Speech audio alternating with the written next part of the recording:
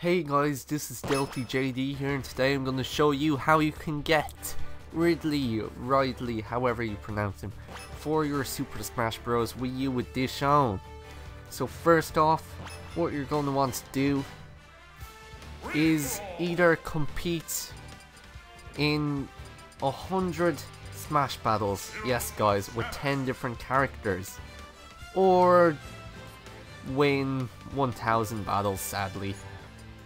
The next thing you're going to want to do is to complete Smash Tour 10 times on each board. Yeah. After you've done this, you're going to want to go into Classic Mode. When you're in Classic Mode, this probably took the longest one, Jesus Christ.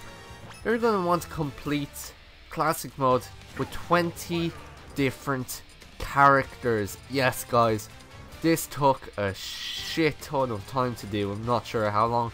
Probably a day or two. So yeah.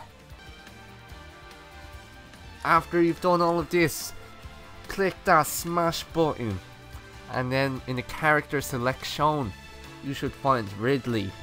If this video helped you guys, hit that like and subscribe for more videos. And also, this was a fake video. Oh my gosh, if you done this, you failed for it. Holy shit. I'm out guys. Peace.